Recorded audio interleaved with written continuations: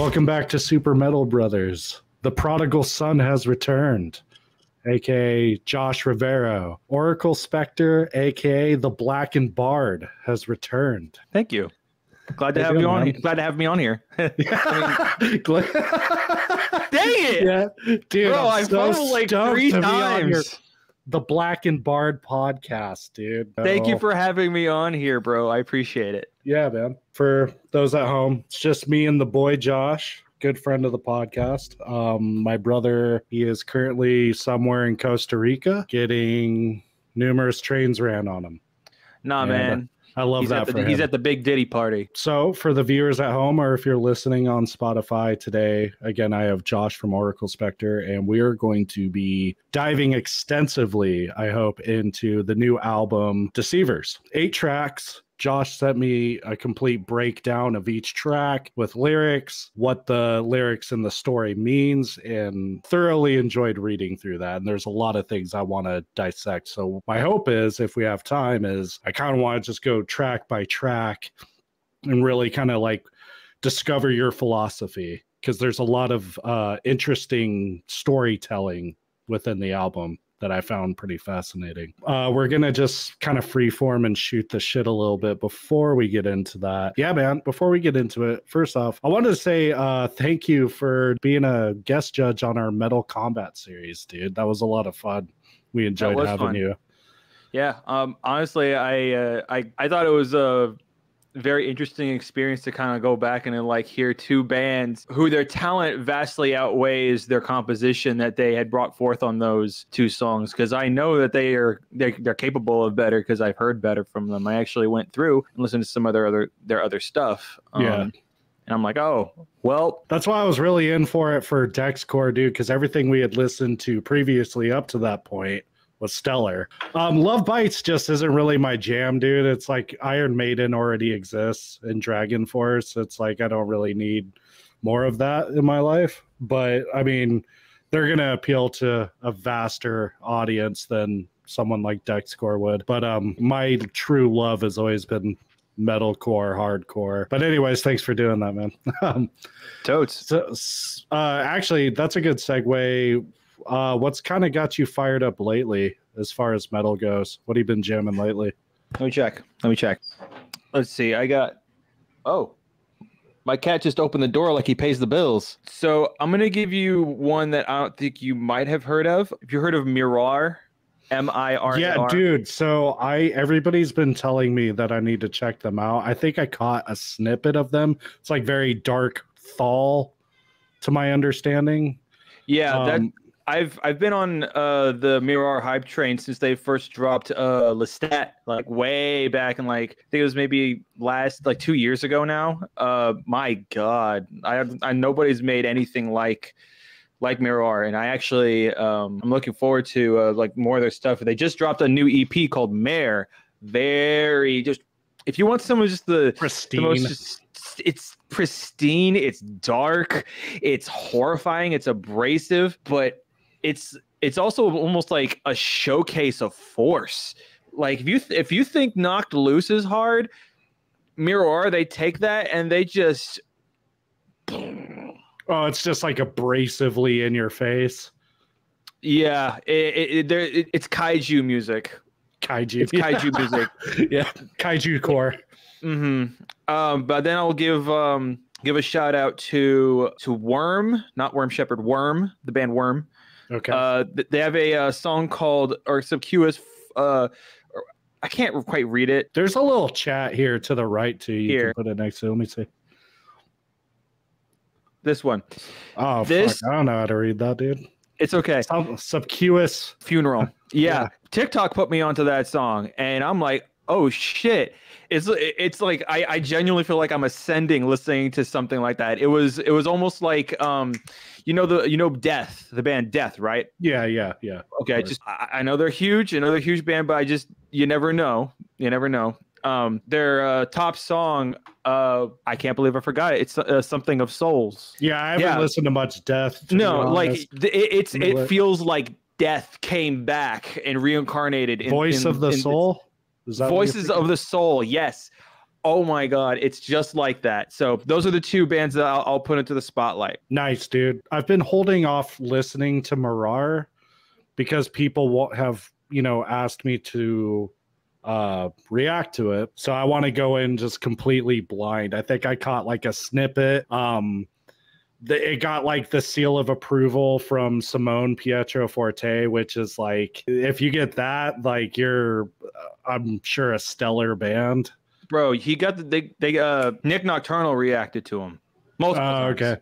Yeah. Really? Yeah. I don't see much of his reactions. I always felt like he just like kind of picks and chooses reacts. Well, it's like, not on his main channel. It's on his Twitch clips channel. Ah, that's smart. Yeah. Dude, YouTube's such a weird realm. Like, it's not something I really give a fuck about.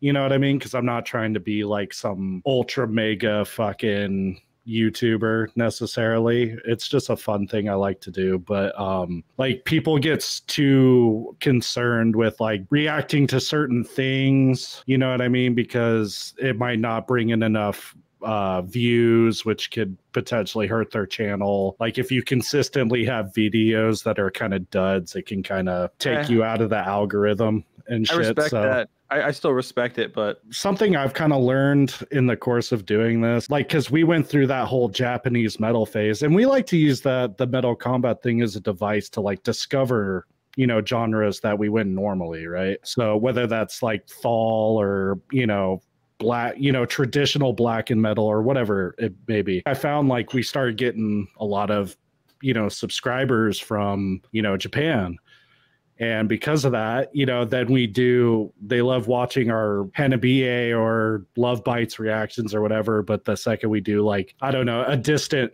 reaction, like half your fucking subscribership aren't even watching your shit. You know what I mean? Like, so you got to be, you kind of have to condition your audience. That's why I'm always like, I'm just going to listen to whatever the fuck, despite if it's big or not. I like discovering music. So I don't really care if it's going to bring in views or not. You have to condition your your tribe, so to speak. But um, yeah, yeah, no, that makes sense. Because like, if you look at it, the type of person that you are attracts the type of people that you're around, and same goes with the type of music that you make, the type of music that you react to. And so, if if you want to bring in a more underground band, bring in a more underground crowd, there you go. Yeah, exactly. I've become more concerned with, but like in the opposite way. I don't want to get audience captured by like certain demographics. I want to be able to do whatever I want to do when I do it. But enough about me and my stupid YouTube channel. Your YouTube Uh, channel's not stupid. I I legitimately love when you up, upload. Thanks, man. I appreciate that. I always admire your ability to just stay based as fuck. And this kind of goes back to like what we're jamming. You had posted something about Bring Me the Horizon's new album and how Fantano fell off. Um, so here's the thing with Bring Me the Horizon. And I listened to the new album. I think it's good. I, you know what it is? I compare it to the new Dune movie. If you've seen Dune 2 yet. I haven't. I haven't Okay. seen. Uh, I've only seen part of Dune one, and I haven't seen uh Dune two yet. Okay, I won't spoil anything, but Okay. good movie, good album if I'm comparing it to Bring Me the Horizon. But I feel like a lot of people are like treating it like the second coming of Christ. And I'm just like, eh, it's all right. So walk me through why you thought that album was so great for a Bring Me album. You have to start with the artist's intention. They Okay. went by and they were like, all right, so the first album that the first part of the EP, uh, Post Human, uh, that they did like back in tw- 2020, 2021 or so, I forget the year. Yeah. Um, that one was them wanting to go forward and put forward in something. They want to bring uh, a, a new, their new sound that they want to do. But with how they wanted to tackle post-human next gen, they're like, okay, this one is now go instead of it being the future, this is the past. And so what the whole idea is that they're taking inspiration from a video game called Parasite. Uh, I think it's called Parasite Eve or something like that. Yeah. Or- Yeah. Yeah. That's a but anyway, one. yeah. And so what they wanted to do is they wanted to really capture uh, the sound of uh, 2000s uh, hardcore, uh, metalcore, and, and they really like wanted to capture hardcore. exactly. They wanted to capture uh, honestly what I believe is like a time capsule genre nowadays, and a lot of people don't uh, hear that anymore because everyone's so focused on trying to make you know the the hardest, the most intense breakdown possible. I mean, mm-hmm. guilty as charged. I love right. doing that. It's so much fun, especially when you're able to put it in context with the song. Sort of di- diverting. That's why I think that um, Disembodied Tyrant, uh, their breakdown on uh, Death Empress, Oof. is yeah, we just talked is, about.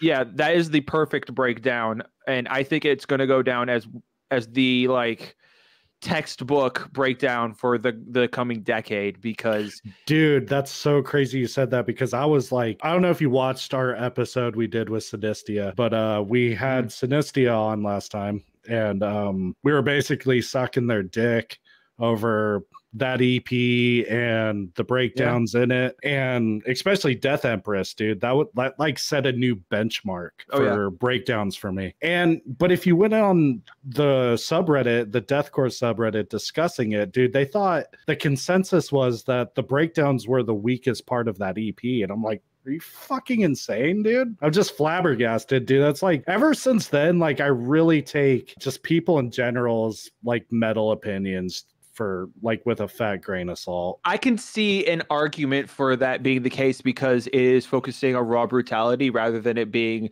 something that can be rhythmically in tune with what's going on, something that it can work uh, in the pit something, in, yeah, something yeah. along those lines yeah. because they are going to be playing live. They are going to be playing that track live 100%. But you need to understand something is that within the context of the song, that is the moment where they're literally like within the context of the song, that is the end of the Death Empress. That is the end of the Death Empress within the song. And so yeah. that's like boom, that's how everything caps off. Anyways, back to Bring Me the Horizon. Bring Me the Horizon and how they brought forth this old sound and then rejuvenate and brought life back into it. It's such a satisfying aesthetic and it's just it's just a sonic smorgasbord of how all the lyrics are are talking about uh, this story of an you know an AI called Eve that essentially is poisoning humanity and breaking it down piece by piece, and how there's uh, the this human uh, that is trying to break free from this uh, this virus that it's been uh, bringing around. And I think the I, I thought I was gonna hate that album because mm-hmm. one of the first tracks I think I remember hearing was was Parasite Eve. And considering that it was like, you know, right around the time when the pandemic was at its worst, yeah. uh, I did not want to hear where the first track of a song is uh, I Have a Fever, Don't Breathe on Me. And I'm like, oh, mm, no, this yeah. song's. yeah, he's a bit cringe. Oh, yeah. A little on the nose, dude.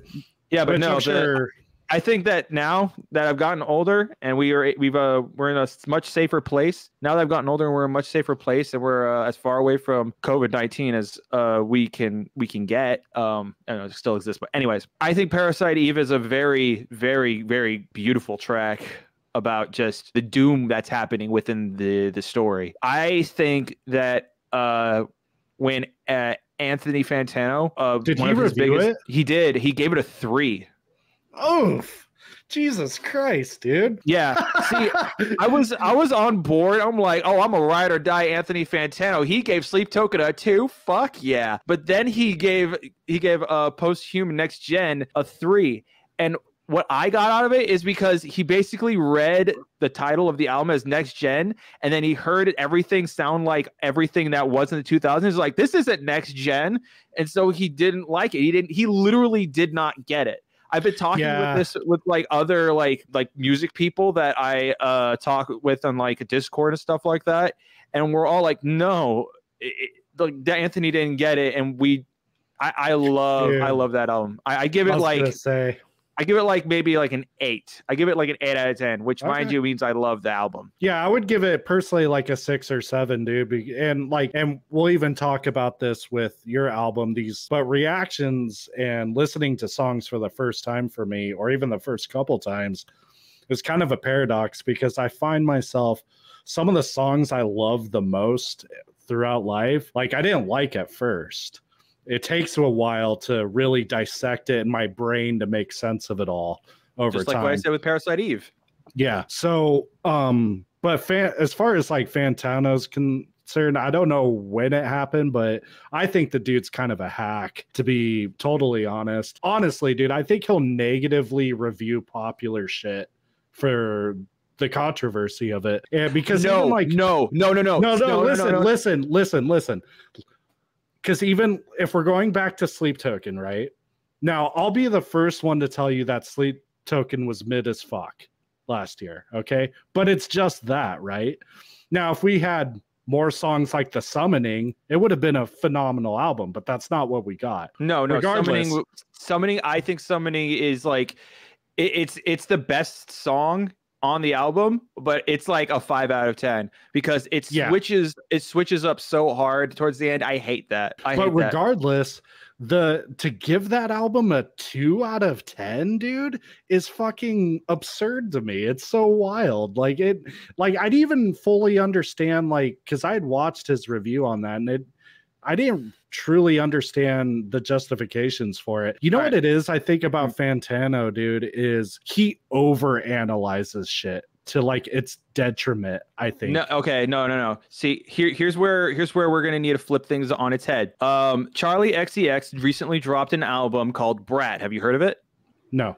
Okay, so Charli XCX is right now climbing up on the ch- on the album charts, climbing up on the uh, the song charts. She is really really up there right now.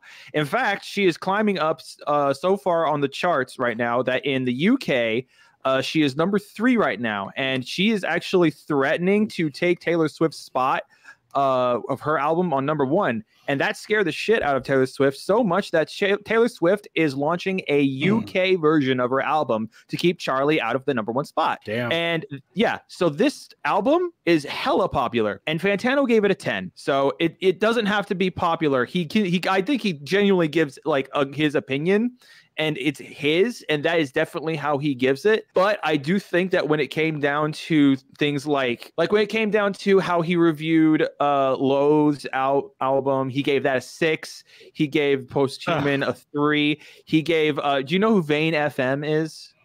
I yeah, I've heard of it.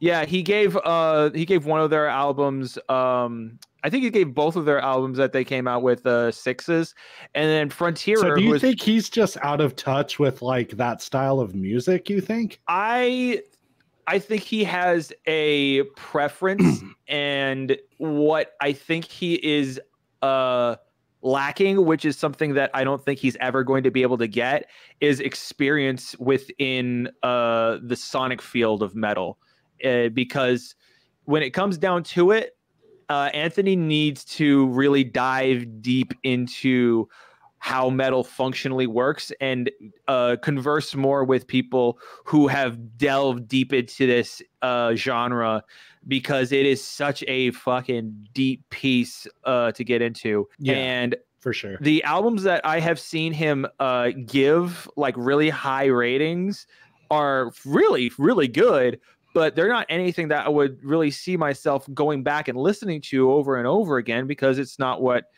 I don't know personally I would get into, but I still enjoy listening to Nails. I still enjoy listening to Behemoth, uh, oh, oh Father, oh Son, oh Satan.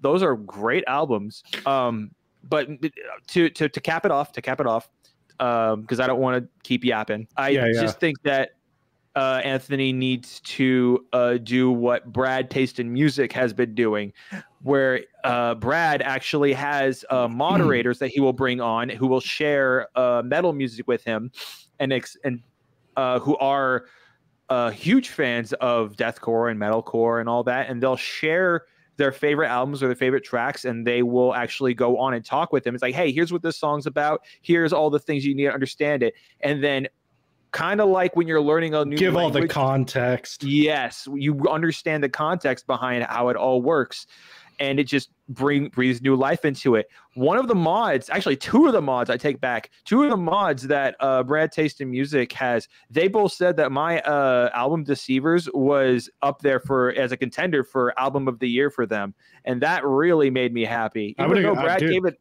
Yeah, even though Brad, ga- Brad gave it a 65 out of 100, they both gave it like an 8 and a 9. It was Yeah, but dude, to get a, I feel like to get someone who's not really a metal listener to give you a 65 out of 100 is probably a big deal. In my yeah, he, opinion. he said that too. He, he says he hates metalcore, but he he really digs like how the album went. He gave a. I'll, I'll tell you what the the scores he gave each one was because honestly, I'm a kind of not gonna Yeah. lie. Anyway, Yeah, yeah. um, the last point I'll make on Fantano, and this is why I said I think he overanalyzes shit. okay, Um, okay. that popular country song last year, I forget the dude's name, but the was it Richmond, north of Richmond? Aaron song? Lewis. Or, Yeah, yeah, yeah. Yeah, that was popular on YouTube or whatever.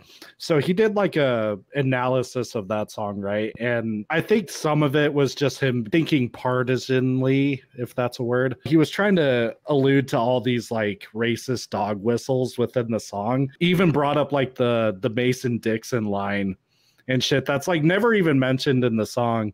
Mm. And it's like, dude, did you ever just stop to think that like North Richmond, north of Richmond, just is clever and rhymes?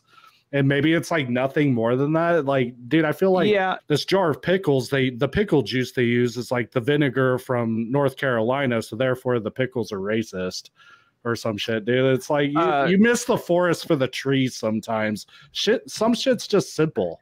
There's not a Yeah. deep meaning to certain things, dude. his his problem with the song isn't necessarily like th- that whole thing what it is he understands it he gets where that is the biggest problem is the lyric um, that involves um, the the obese milking ware welfare and talking using that that specific lyric was Yeah. what kind of brought out uh, the worst in people or the worst of people and when a lot of the uh of far right and and the right were using that song as like an anthem for them to literally like walk out into like debates and stuff like that and a lot of like people in the right were going out and uh and who, who correlate within uh the uh the right um I- ideologies were really really really really loving that song and and Mhm.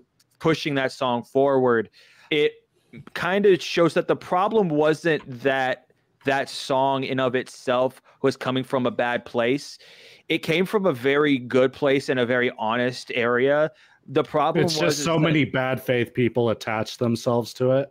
close that's Okay. that's the first that's the that is the the end of it the beginning of it is the fact that he didn't think his uh, lyrics all the way through and they were misconstrued and he genuinely ended up getting he ended up saying the wrong thing uh, as an example uh, the ceo of sony said that for the um, Spider Verse, uh, the next Spider Verse movie, they're going to be using AI to uh, help make uh, the movie a lot easier for their uh, workers and their animators.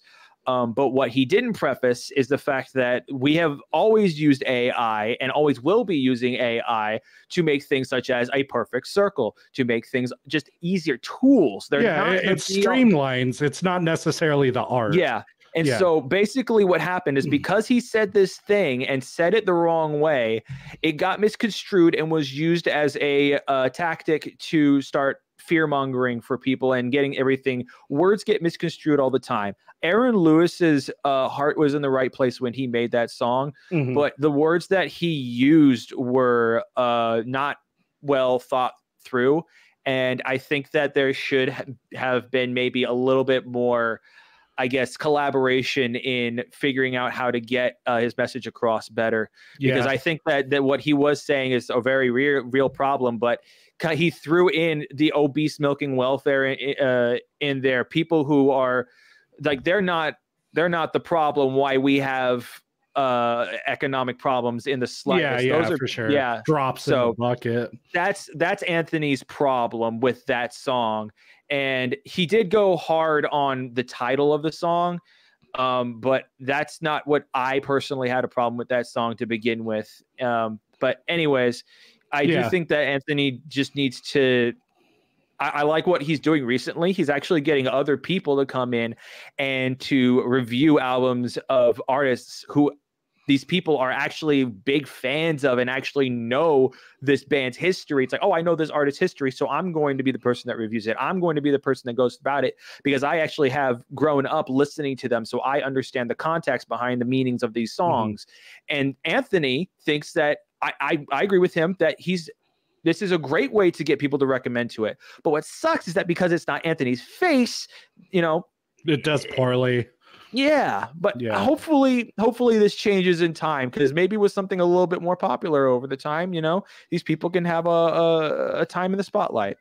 Anthony definitely uh, does lack a lot of experience in certain areas, but that's why he's getting these new people to get into uh, where it is. So, anyways, well, and you know, learning to critique stuff myself i mean you it's just not possible to have perspective on every facet yep. of music you know what yep. i mean um mm-hmm. you know kind of leading into your own album dude and this is back to my comment about you being based as fuck i feel like above anybody else i've met while doing this i feel like you actively seek out criticism it's like a way to uh strengthen your musical composition like you value like every bit of criticism in fact there was the i saw you post it on instagram but it was actually a comment from when i had reacted to your album something about they said like oh there's some hard bits but overall it's like some cookie cutter bullshit mm-hmm. which I didn't feel that way about the album, but like, does that shit wear on you, or do you look at it as every opportunity to just be better? When you I find it as an opportunity like to be that. better. If someone thinks that what I was doing was boring, I believe that they have context to something that I'm not aware of.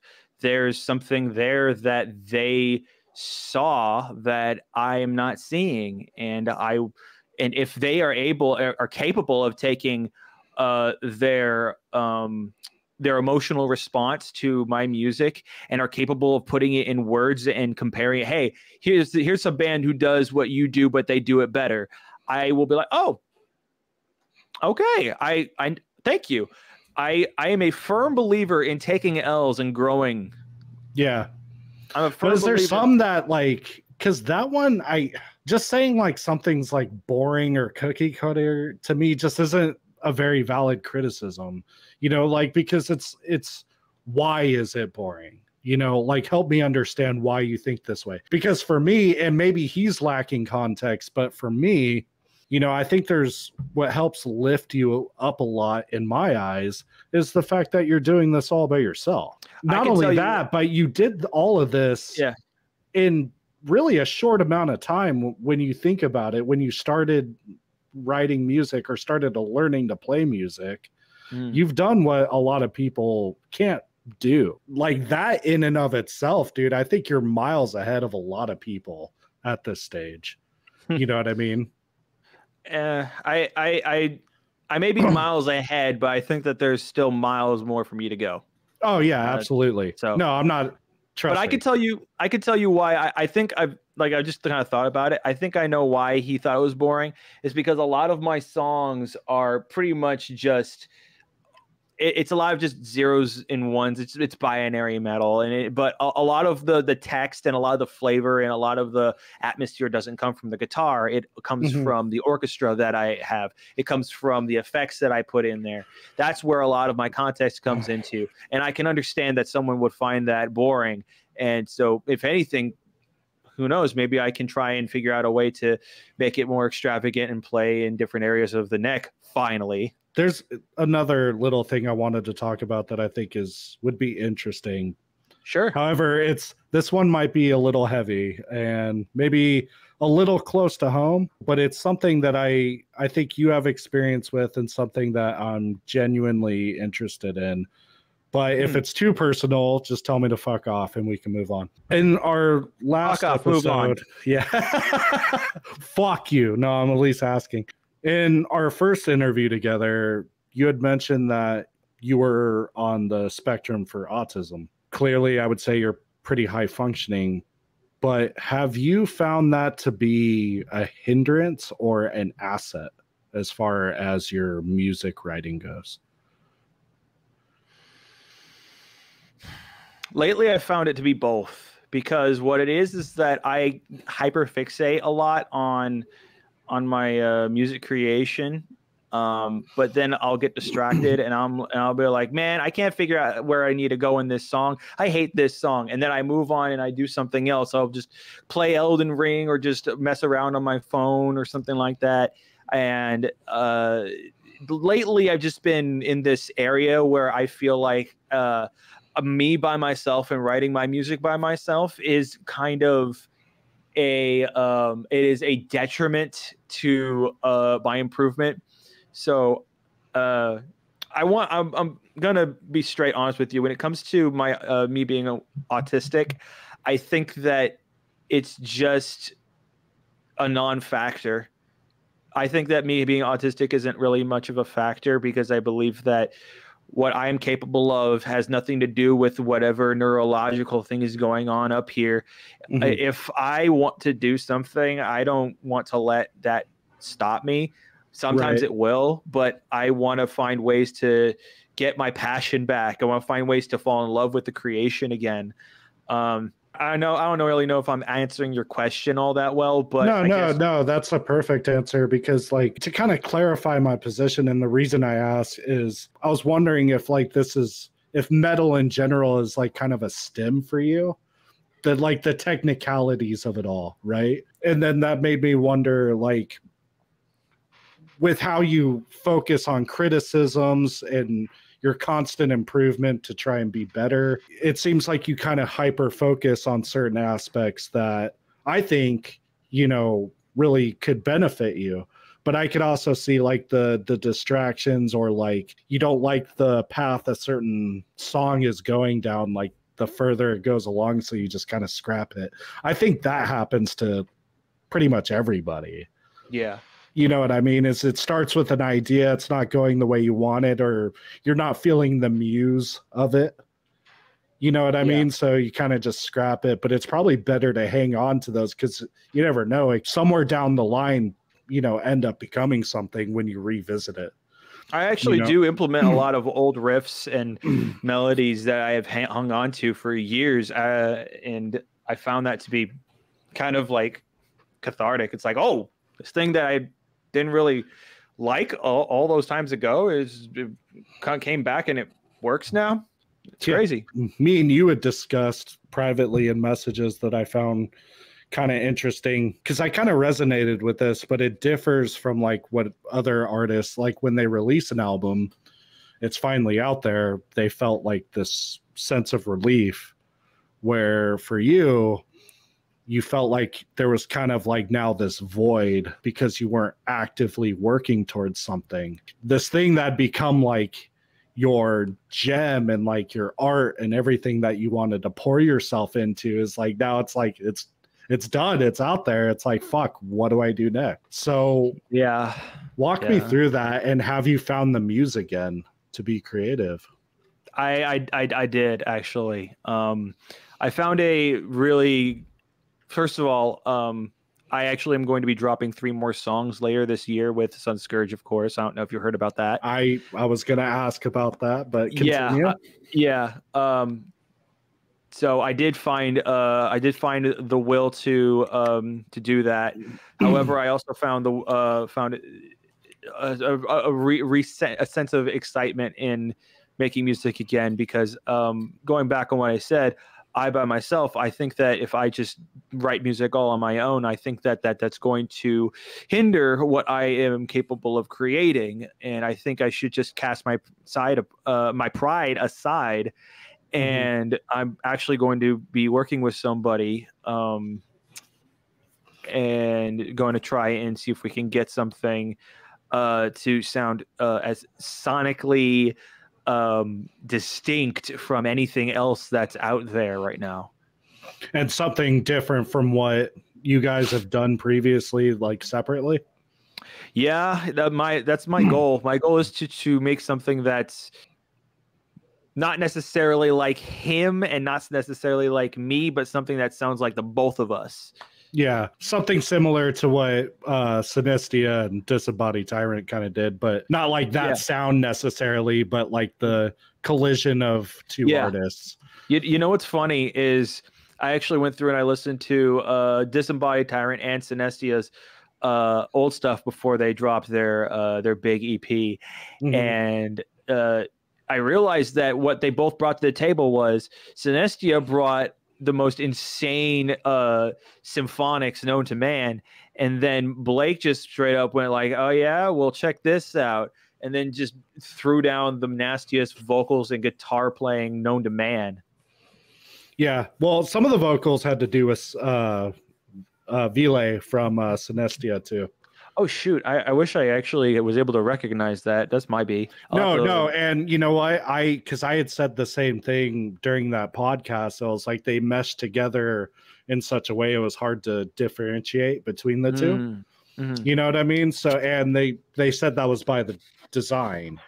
Okay. You know what I mean? They really wanted to just be a cohesive thing that, you know, really just fit together and they layered each other to where it's, you know, think of Synestia and Disembodied Tyrant as one band during that, as opposed to like trading off verses or choruses or Got it. But, I like uh, that.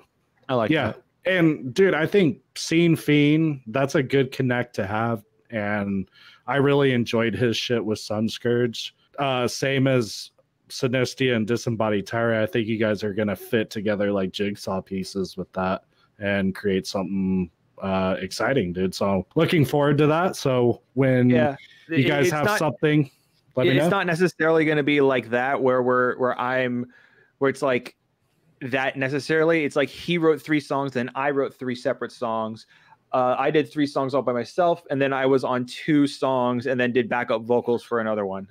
Oh, okay. Oh, okay. So it's kind of like a split, more of a traditional split EP with some Exactly. collaborations in there. Okay. Exactly. Okay. Um, are you guys gonna be doing like the going through like the same like producers and kind of treating each We already did. Yeah. yeah, okay. So it all has like a similar sound. Yeah, we actually went through the same uh, producer that uh, we used or that I used for uh, Deceivers. Nice.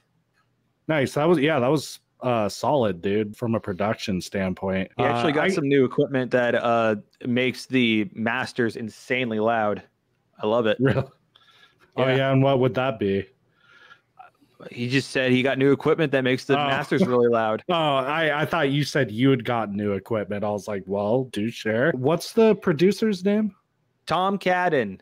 Tom Cadden. What has he, He is- worked on besides your project? Uh, he works on. Uh, he's worked on Body Prison. Uh, there's another band called hold on Heaven something Heaven's Gate, and uh, another. They're they're a very small band. You might not have heard them. They're called To the Grave. okay, nice. Yeah, the the uh, the, the production for uh, Ecocide. That's him. Oh, okay. Hell yeah, dude. Is he based out of Australia then, or? Yep. Uh, okay, cool. That'll be exciting. Uh, let me know when you guys have something to show. Love to. Uh, I, I I actually I actually do have stuff to show, but I'm just not going to show it to you yet. Yeah, You have to wait. enough. You have to wait until it comes out this time. That's okay, dude. I understand. So now I think it's time we can dive into the album. So again, Deceivers, first full length by Oracle Spectre. You really went to the depths of the human condition to explore some dark places with this album. Uh, tell me a little bit about that because some of these feel like they apply to you, like some of the stories, or at least you see yourself in some of these characters that you're talking about Yeah. and then Yeah, no. others could be about other people but yeah so kind of just give me like a rough summary of like what you're going through when you they're to they're all write this. coming from a very they're almost all of them are coming from a very personal place and they are all uh, something that people can see in uh, in others. Simple as that. I would love to just kind of be pretentious and give you this whole thing but i think that's the best way to sum it up. No that's perfect dude.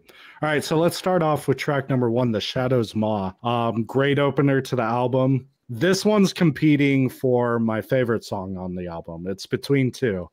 Uh you might be able to guess the other one.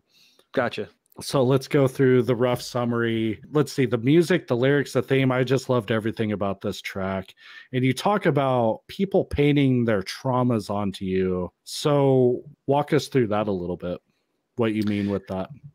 So something that I had I had been thinking about for a while is it started off with the idea that people when they're born into the world they are essentially a blank canvas mm-hmm. and as they grow older, they need to determine their uh, their destiny, their own path, and their own way uh, of life. But the thing is, is that you aren't just a canvas. You are also the culmination of every thought you've ever acted on and every person you've ever met, anyone you've ever talked to, anyone that you've ever hung out with and all these interactions that you have are actually affecting you on a very subconscious level. And when you grow up as a child, your parents are essentially painting themselves onto you to, but they want to make another them because they're essentially having a child is having a second chance in life. And that's one of the beautiful things about having a, a, a kid. As we get older, these traumas that they they have are going to be inflicted upon us. They want to change you into uh, relating with their ideals and to their beliefs. And this goes as far as even the teachers that you uh, talk to, all the friends that you make, and their parents being uh, being brushed off from the, onto their kids and then those kids onto you. All these different interactions are just waves of interactions in chaos, creating the person that is ultimately you. And mm-hmm. what it all comes down to is the sense where you're losing your innocence as you go and you're changing yourself in order to fit in more and more and more to uh, be able to acclimate and to socially uh, become accepted to your peers because that is what all these traumas do. They make you want to become something that is acceptable. And by the end of the song, where it, it caps off with "Am I enough now?" is because you've done all this to me. You've you've took my innocence. You've taken everything that I've ever wanted to do. You have told me that everything I've ever said is stupid. Am I good enough now? Am I the type of person that you wanted to see? I mean, I can definitely relate to that song because um my brother and I, uh, we've had a pretty troubled past with our parents. I would say we've done as best as we can to break that cycle. We could have ended up a lot worse, you know, given everything. Could. Yeah. yeah, man, but I'm happy for you. yeah, appreciate that, man. Um, no, I'm proud of it because it's like, you know, I look back and a lot of people that would uh crumble under you know some of the shit we've been through some of the shit i've seen. We just pushed on. And uh i mean i'm not without my my fucking mental issues trust me. All things considered we turned out pretty well. And that's my hope for anybody.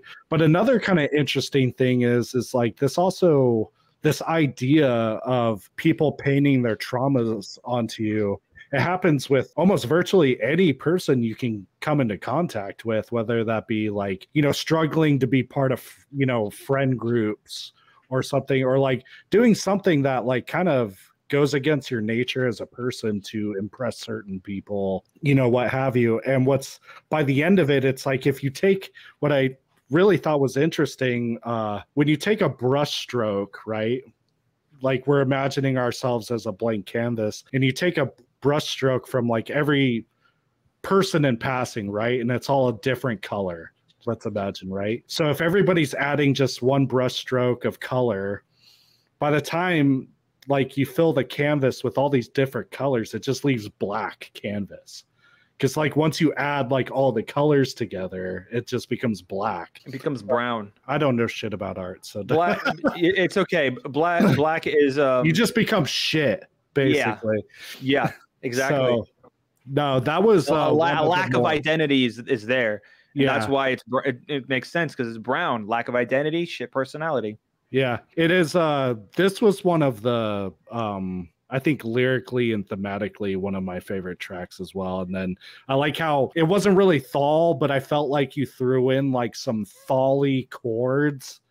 You know, that they were very like dark, ambient, dissonant, uh, chords. It felt like like from the start of the song, and then uh, you go into like this really interesting like piano motif. And I would say this throughout the album, dude. There's like these you pepper in these like little melodies really really well. They're dark, but they kind of bring you out of the darkness a little bit.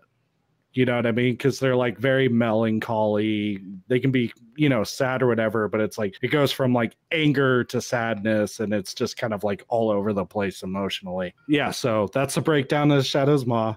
Now let's get into The Valley of the Flies, the very first song we ever listened to. In this one, you tell the story about a man trying to save a woman from hell, only to be trapped there and end up being taunted by a demon, conveying how a savior complex can lead us on a downward spiral. Have you had experience with this personally? Yes. Tell me about it. There was actually a girl who I met a long time ago, um, and she went to um, she went to the church that uh, I was going to at the time, and she was uh, really, really going through some serious stuff. I was like Captain Save a Ho and so I'm like, oh man, I could I could fix her. Yeah. And so it, it was it wasn't like, oh, she's got mental problems. It was like serious, serious, serious shit she was going through. Mm-hmm. And life altering shit. And I was just trying my, my everything to try and to get her to stop doing that and stop acting like that because I'm like, oh, I know, I know best. I, I can get you out of here but there came a point we ended up stop talking because she just didn't want to hear me try to protect her. And to be honest to be honest her cutting me off and her doing her own thing was probably one of the best things that she could have done for herself because you were enabling it maybe? yeah pretty almost almost almost. Um i don't even know if enabling is the right word because it was like or you made her feel secure like within the destruction without like addressing it not even that not even that man. It was just it was just pathetic attempt after pathetic attempt. Nothing but words and barely any action. Even when i and there was another time where it was another person where i'm like hey you should come to church and you should da da da da da. And i tried doing that and i realized you know they just they just straight up just you need to understand that it came a point where it was just after all these accumulations of me trying to save them and and, and then like after the whole thing i needed to realize what my actual intentions were and i forgot what my intentions were. My intentions on bringing them to church and trying to bring them to light were specifically selfish and they weren't about actually saving them. And that's essentially a, a, huge part in what Valley of the Flies is is that before you even dive into hell, you need to make sure that you have your your intentions in, in order, and you need to make sure that you know wh- why you want to save them. And because if you're gonna go down there and you're gonna get yourself stuck in there because of some selfish reason, you're gonna be stuck there, and that's where you're gonna end up being because they're just gonna drag you to hell and they're gonna keep you there because when if you have no idea how to get out of hell, like what the guy did in the story, you're stuck there. If if you and you have no idea how to navigate through whatever hell that they are in and no have no idea on like what they're going through and how to sympathize or relate to it in any way or any capacity you're gonna end up even further down deep in there than what you could have if even if you knew where everything was. It's just like the, the whole premise of the song is you can't take from hell that which walked into it that's the whole idea behind it. So when you're writing these stories, how does it kind of start? Because like these could almost like come out as like you know fables or like short stories, if you would. Mm. So like how does the idea in your head begin? How do you and how do you like or how do you apply yourself into like a story format? I guess it helps if you have a solid understanding of the abstract and symbolism and understanding. Mm-hmm. I watched a lot of like reviews of movies behind people who have worthwhile repertoire and I have seen a lot of how like what what a lot of meaning behind specific very surreal movies and stuff do, does. I think a movie that really helped me understand and how to think of lessons and stuff like that in a very very um abstract way is a, a movie called uh, The Holy Mountain, which came out in 1990s. Uh, okay. The Holy Mountain, the Holy Mountain, um, to give you what kind of like it is a very, very, very, very, very weird movie. And just going in there and having no idea like what you're supposed to get from it, and you just watch it as like a casual person, you're going to you're going to give in the t- the typical WTF did I just watch? This is so weird. But you need to understand that there there is an there's a reason why all these people are taking these these naked people like although why they have these naked people painting their butts and having them sit down on these canvases over and over and over again. They have them doing that because it's supposed to represent to win art becomes nothing more than factory made. Interesting, dude. I'm gonna yeah. have to check out that movie. Um, it, it, um, came out in the 1970s, and it's so far ahead of its time, dog. What's it's called? The Holy Mountain. Yes. Okay. Yeah, I'll check it out. You really paint a picture with your words in a way that like I don't know, maybe maybe I'm biased, maybe it helps because like I've read through your track breakdown so I know exactly what you're thinking with each with each song. Well, the next track, Unfeathered, is pretty straightforward. I think anybody can understand where you're going with that. That was an example of like at first I was like, ah, it's not really hitting with me as much. I think Valley of the Flies and uh, Void Sayer just left like a bigger impression. So when that when this at first didn't quite hit the mark, I was just like, eh. But like the more I continued to listen to it over time, I was like, oh dude, I dig this. I love that bridge section and where the song goes from there really brought it up for me. Uh, so you know how they're in a unfeathered before the before and after the first um chorus, there's like and then it goes yeah. that that is a sonic uh symbolic representation of coming down and then getting high again. Oh, Interesting, dude. That that is an artistic choice for sure, dude. Because that makes and, me and, and, and, here's the best part. Here's the best part. I really pride myself on this is because you take like it go. He he starts off high, right? In in the song, he has his first hit. He comes down in the chorus. He's resenting himself, calling himself God's abomination. It's like, God, I wish I could stop. I wish I could just be normal again. Gets high again. And then the song is going on about how I don't need to, I, I can quit whenever I want. I can leave whenever I want. I don't care. It's, I'm my own man. I got this. And then, and then it just goes right back to uh, calling himself God's abomination again.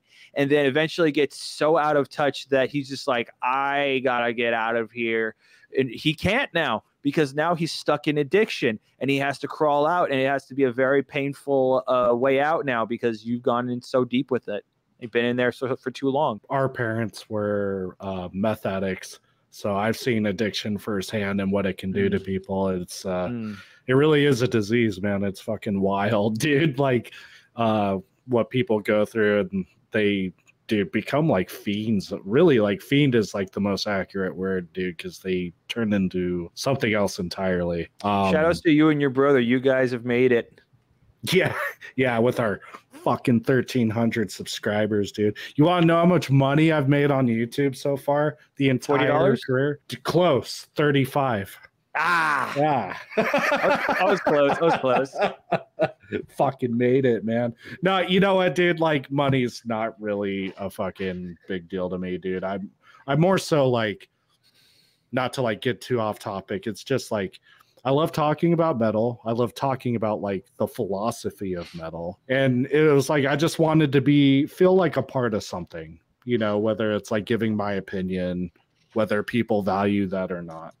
So that's kind of just where this whole started. I feel like this song is this about are are you putting yourself in this song? Is this song about you, Unfeathered? Yeah, or is I, this about I have I've I've I've struggled with uh, my own addiction as well. I'd rather not say, but I do struggle with my own addictions and my own vices. For me personally, to break out of it is something that I have to overcome on my own. Um, I'm I'm very very fortunate that I have a a wonderful living con- condition to where I can be able to escape that safely and properly. Yeah, absolutely, dude. I know what rock bottom looks like, dude, and it's it's tough to get out of. So when you have like a good uh, support system, whatever that may be, that can help you out, dude.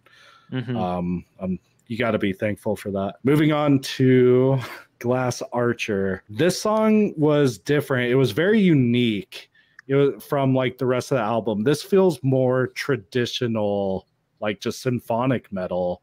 Like obviously you had the a disgusting breakdown at the end of it, but very I don't want to say safe, but um That's the radio consistent. song. Yeah, that's the one. That's the one you had an issue with. So why did it make the album then? When Tom mixed and mastered it, I liked it again. Mm, And now I was like, you know what? This ain't that bad. This really ain't that bad. It is actually my third most popular song on uh on Apple Music slash iTunes right now. Before we get into the other songs, what is your favorite song you think off the entire album? For a while, it was uh the Shadows Maw, but I think now I've kind of changed it to um uh Harvesting Death's Embrace. Okay. Specif- specifically for the fact that that is closer towards the direction that I want to kind of go. I want to kind of have something that's haunting, but not so melodic and so safe. I want something that's going to really stick with someone and really affect them. And I, I think that that's that song really has a lot more staying power in its uh, composition than in uh, most. And plus, uh, the themes behind it um, I think are something that I get behind a lot more than not not not a lot more. I think just a touch more than the rest. Okay. Yeah, we'll we'll get more into that song as it's coming up. Before we move on to Rain, I, I want to tell you something interesting about Glass Archer now. Yeah, absolutely. I had a coworker. He was a very transparent piece of shit. And okay. he was basically like he spoke and acted like a like a like a I don't know theta iota theta fucking frat boy dude and and Yeah, yeah. he he had ego maniac. Yeah. he had he had like this he was like this five foot nine bearded uh bearded guy who like he was he was always trying to hit on all the uh all like the other like cashier girls that were out there he was who would try and like I, i'm not even joking when i say this he would essentially act like drake like he, Oh, he would go around yeah, he would go around. He, he would go up to like some of the girls that were in the cashier. It's like, "Hey, what's up, bestie? Why haven't you given me your Instagram?" like that, right? Mhm. And then I ended up finding out through uh, one of my other coworkers that I was um, that I was friends with. I ended up finding out that what he would do is that he would actually leave the deli area from the grocery store he worked in. He would leave the deli area. He would walk around the store, and he would ogle women who he thought had fat ass or fat tits. And he's like, Hey, I saw this mama with a big bub. Go be right back. And he was so transparent about with that kid because uh he was like a 20, he was 20 year old, not not the guy. The guy was like he was my age. He was 27, 28. And the other guy uh, he was telling to was like this 20 year old, 21 year old. And he's and he never he barely ever snitches but he told me this because i hated him. I really did because he would barely get any work done he would suck at whatever job he would do and we actually caught him eating food uh, that he hadn't paid for and it just continued to pile up and get worse and worse for this guy and the craziest thing is that the only reason why this dude got fired is because somebody else that we were working with swung on him and so when that person got fired, the so the person that was there that witnessed the fight, he said, "Hey, uh, just want to let you know the guy who got uh, swung on, he's an instigator. He's he started the whole thing. Uh, he's done this, this, this, this, this. He was fired. Just had a whole paper exact trail. same day. Yeah, Yeah. exact same day. They were both gone. We lost two people, but honestly, I don't Fuck care. Exactly. Dude, I, that's So- surprising he didn't get fired for fucking eating shit he didn't pay for, dude. Because I one of my first jobs was I worked for I forget Yeah. what they're they are in California, but in uh, Colorado at the time they're called Safeway, which is like Ralph's or I- some I- shit. Safeway. But- Safeway. I work with them too. Okay. Um, I was a grocery manager for Safeway, dude. If you got dude, like we had a dude that um this is totally off topic, but It's okay. He had worked there for like he had made a career working the produce department, dude. He was like an assistant manager of the department. Been there for like 40 years, dude. Had like a fat pension built up, all this shit. This dude got fucking fired first time, dude, for just taking a bag of gummy bears. That whole fucking 40 year pension just gone, dude. Dude was fucked. Like, See, here's here's the thing. It's the problem isn't that like, oh, we knew it was him, but because we didn't catch him in the act, that's mm. why we couldn't do it. We knew like, oh, all of a sudden these empty cups of of of of just pasta are in the cooler all of a sudden these bones of like already eaten uh bone-in chicken wings are hidden behind these boxes whenever he's he's working we knew it was him but we just couldn't catch him in the act because he was ah. hiding he was hiding away from cameras so we couldn't catch him there he was hiding away from other people so we couldn't catch him and it was it, it sucked. So Glass Archer, back on topic. Glass Archer, the song is a, basically a metaphor for a person who tries to hold themselves up for a very high status, try to make themselves like seem like a good person. They want to make themselves perceived as someone that is worth admiring, worth praising. More important but, than they are.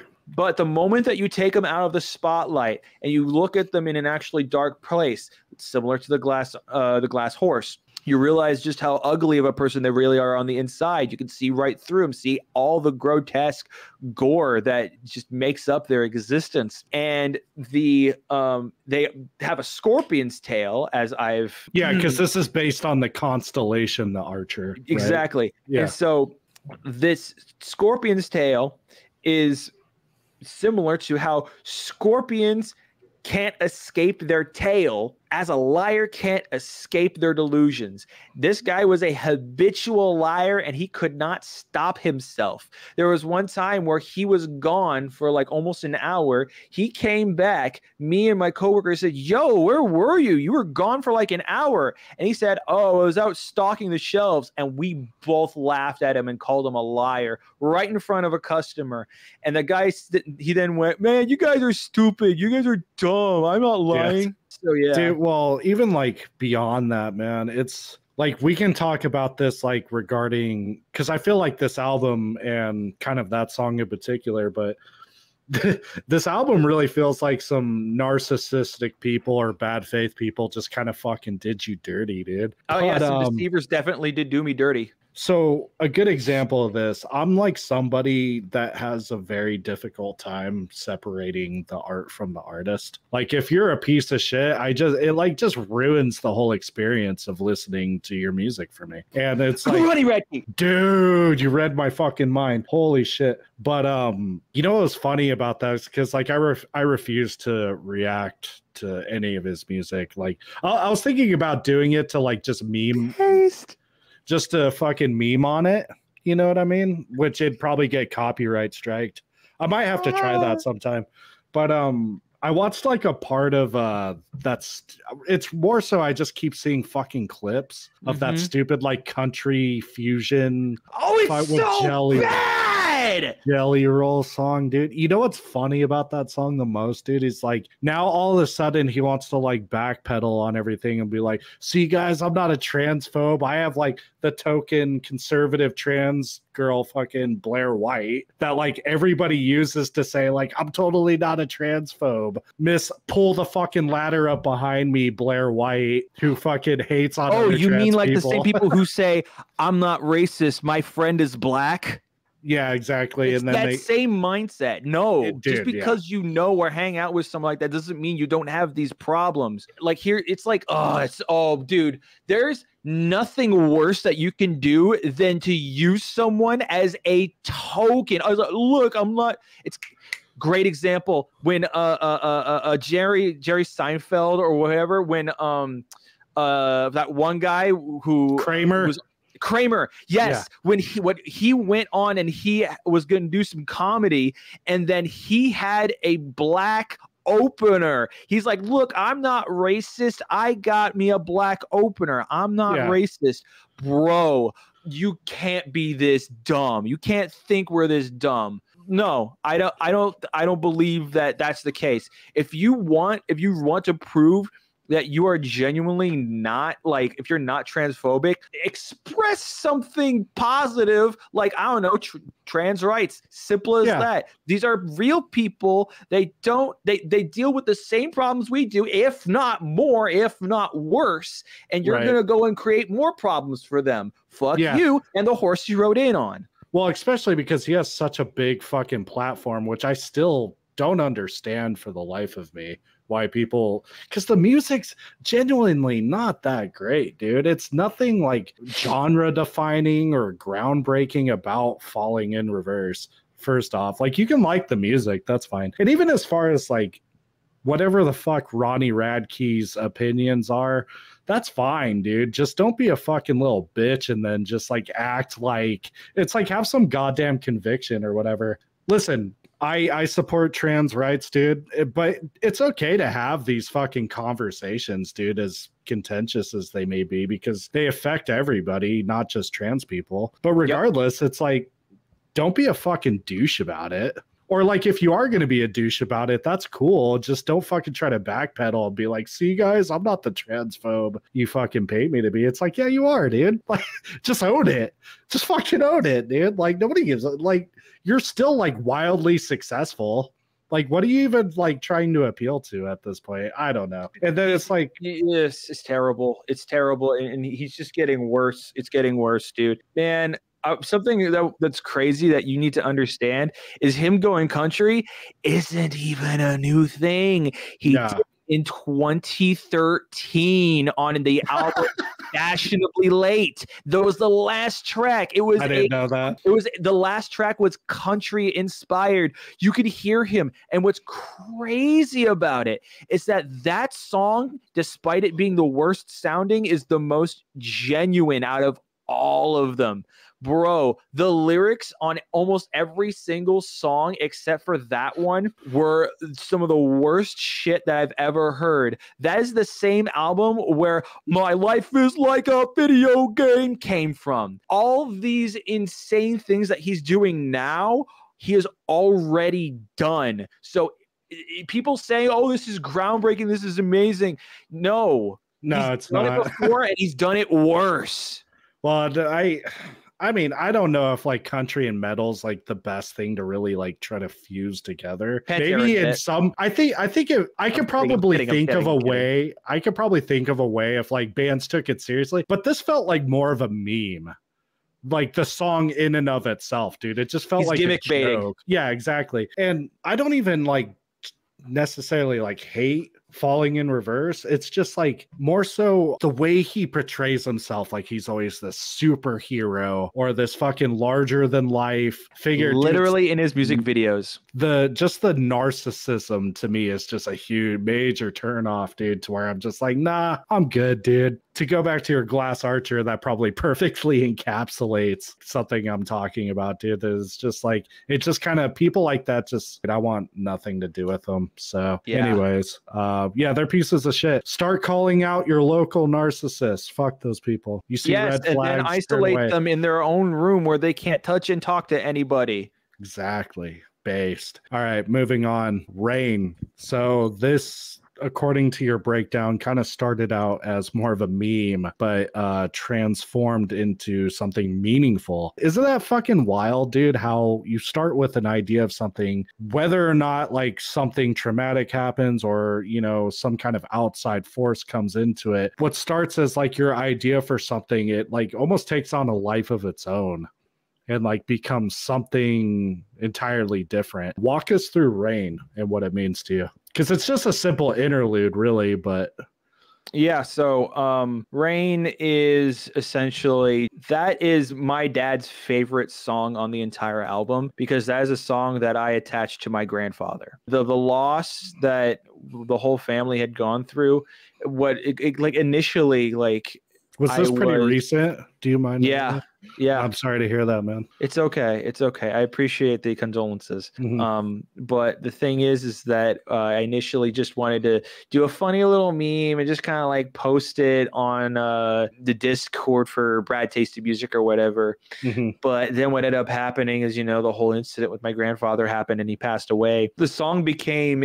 into something where it was kind of talking about how how um, depression is essentially a opportunity for growth because the rain symbolizes sadness and how it's going to rain and no matter what you're going to do you're going to experience loss because we all do and be prepared for that because once once the rain lets up you'll find yourself ha- has has grown because we are like trees Now, when you started writing this track, was it originally kind of tied to your relationship or the connection you had with your grandfather? How did it morph into that? How did you tie it to that?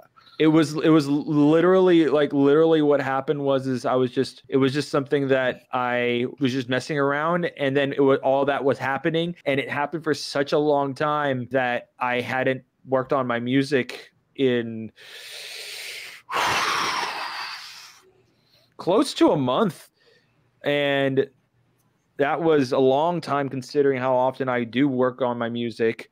Um, I I've been in a much longer dry spell as of recently, but Mhm. at that time I was always working on my music every day, always trying to perfect what I was doing. But what ended up happening is that when I went back and I saw that my project for uh, the Yoko Ono uh, cover was up, I was like, I was Sorry, like, I didn't "Oh." mean to laugh, dude. This is a No, weird inspiration It- to take it from, is. dude. It's a very weird inspiration because it it wasn't supposed to be for that. I just saw it. I just it, it clicked. My brain just broke, and I was just like, you know, Maybe this bitch was onto something. maybe, maybe. So now there are two dead people that are attached to this bitch. Wait, is Yoko dead? Did Yoko? die? no, no, Yoko's still alive. just It's John uh, she, yeah, John Lennon and my grandfather. She didn't kill him. It's just He'd like probably be dead of natural causes about this point, anyways. I don't know. Who knows? fair, fair. I mean, Paul McCartney's still. I'm not too sad about it, dude. I'm over it. It's Uh, fine. Yeah, we still have Paul. Anyways, so then now we're leading into uh track number six, Harvesting Death's Embrace. Um, and this is talking about the exploitation of death for profit. So naturally it works like coming from uh the interlude of rain into the song like thematically, but it was that also kind of tied to like an experience with your grandfather? Yeah, he was already going through cancer at that time when I was writing that song. I wish there was a way to just opt to like fucking throw my body to the wolves when I'm going because it's like, dude, who wants to like put your family potentially in like some debt over, you know, they're already suffering enough. You know what I mean? I I can imagine looking someone dead in the face and being like, so sorry for your loss. Will that be cash or credit? Honestly, it was when my great grandma, and my great grandfather both died. They had a full on like big Catholic ceremonies, this giant just like like big thing where we walked through this this hall of of literal like cadavers that were like the all the walls were full of just dead people in there. And what they did is that they had this one slot that went super super deep. It was like I want to say close to 24 feet deep. 20 it was a wall that was 24 feet long and in it was my great grandfather and then afterwards they put no no it was my great grandmother and then when my great grandfather pa- uh, passed away they put him in the same uh, part of the wall that my great grandmother had passed away in. The fact that it literally costs everything of the people who are alive is where I am just I'm disgusted with Yeah. because there are vultures who look to find every reason that they can be like, "Oh, you're sad? Man, you know, I'm sorry for your loss, but you know what? I think we should give your fill in the blank someone uh, a ceremony celebrating their life, don't you think? They were a great person." I wish there was a way to opt to just like the person dies, you do the autopsy, whatever. Whatever, and then you just release the body to the family and they do with it. You know, like maybe have guidelines set up like you have to dispose of it in this way, but like not, you know, charge people a fucking arm and a leg to just properly put their family member to rest. I think that's even something that cremation was expensive. Oh yeah, dude. And that's like what to like run the fucking oven for like 10 minutes or whatever, dude, to scoop out the ashes. That's the way I'd like to go personally, because it's like I'm looking for the cheapest option possible for my Yeah. family. Getting more into the music side, uh the breakdown was fucking disgusting on this track. Definitely gave me some stank face. Uh, but not as much as these lines that you put in, which I'm sure you know what they are. I'm gonna read them. Death is a whore in your street. Fuck the hole six feet deeper. My God, dude, what the fuck is wrong with you? No, that you gave no fucks, dude. That shit hits like a Mack truck. Little edgy, but I dig it. I don't know if you can elaborate more on that. Like, no, go for it. Go for it. Ask me um, away. There's like really a disdain and like aggressiveness pit toward these people. I feel like more so the the song about the addict or the song about the glass archer. Like these are these are all like archetypes. I feel like of the human condition of how fucking deranged people can become right? This one specifically is there's so much vitriol in these lyrics, dude, like towards these people. You're like, man, fuck you. I can tell you the biggest reason why that's the case is because um honestly, man, most of these songs have an iota of pity towards them. This one I have no pity for you. You are a predator. You are a piece of shit. You are a scum. You got shit more twisted than a fucking tornado. I go fuck yourself. I cannot wait for you to leave everything that you have stolen when you die. Yeah, fuck those people, dude. This one, I don't know. This is another one. Like the first time I heard it, I wasn't sure how to feel about it. But the more I listened to it, I was like, oh, this is fucking filthy, dude. My God. We are going to get into this is the second favorite track that's competing for first for me Sun Messiah. Uh, you already know how I feel about this one. I didn't resonate so much with the, the lyrics as this one. I think the story itself is interesting. It's just not something I really could see myself in, I guess, because it's talking more about like religion, I guess, which Mm. we can get into that. That's an interesting uh, thing I wanted to talk about too. For sure. But um, this song I had already told you I felt like should have been the closer to the album. Either way works, right? Th- going from this to Void Sayer works perfectly fine. Just like this song hit in such a different way, like melodically, it just felt so unique to the rest of the album. And you had even told me that basically everybody was telling you that this should have been closing track. So maybe kind of go through your song process, walk us through what the song is about. And it sounds like you're a pretty religious person. And I kind of want to touch on that a little bit. I wouldn't say like Bible thumper, but you know, Yeah. Yeah, I, I'm I'm I don't think that religion I'm not a religious person. I think I am more spiritual. Um, Okay. I'm I'm a spiritual person. Um, I think that the religion can pertain to not just Christianity, but it can pertain to uh, to Islam, to Muslim, to Bud- Buddhism, to Hindu, uh, to paganism, the whole nine yards Mhm. uh, because where you have a, a guy crashes down into the ocean. The ocean is as life. It's the life. It's cold. It's uncaring. It's meant to drown and suffocate you. And we are all trying to swim in this giant ocean that we all exist in. And some people have learned how to swim in it and they have grown gills. They've grown fins on their hands and feet and they have figured out how to traverse through life. And some people have learned how to walk on life, to, to exist on top of it. And the Sun Messiah is one of those people. And what he does is that he then goes and says, Hey, I want to show you this ability, this blessing that I have been given from the sun itself, and this warmth, this this happiness. I want to share that with you. And that pertains a lot to how it feels when you first become eh, not just indoctrinated, but become a, a, a believer. You're part of a community where everyone loves and cares about you. You're part of something that's uh, so much bigger than what you initially thought. And you then are called to this action where you are they say hey spread god's word spread allah's word or just make everyone more aware he's real he exists. Take and so he takes the person's hand and he bestows the power of the sun upon this person who originally was drowning in the ocean. He said go ahead find more people that you can save. And so what the guy does is he then dives back into the water and he finds someone who has gills, who has fins, and he tries to save him and to pull him out of the water the same way that he was pulled out of.